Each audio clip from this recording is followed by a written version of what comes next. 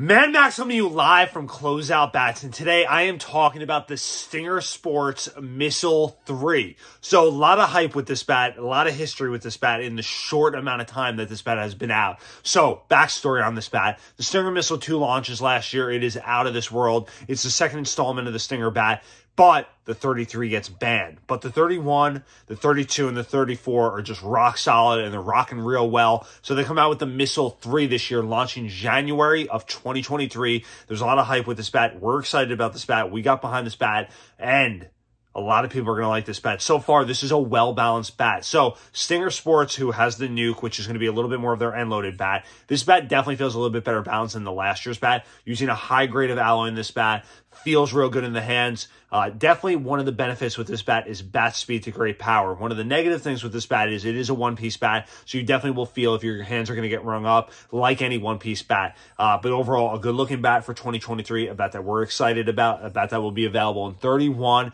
and climbs the ladder all the way up to 34. So 31, 32, 33, and of course the 34. A bat that is really aggressively priced in the very aggressive BBCOR market and definitely highly competitive BBCOR market, but a bat that you definitely will see on many fields throughout the nation. You guys can find the Stinger Missile 3 on the Close Bats website this year, where you can always shop smart and save big bucks.